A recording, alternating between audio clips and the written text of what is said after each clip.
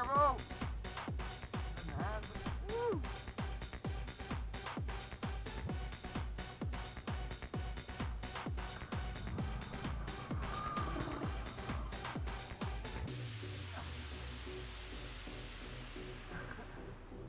Hey, t'habites là Voilà, mais ça, on a les voilà.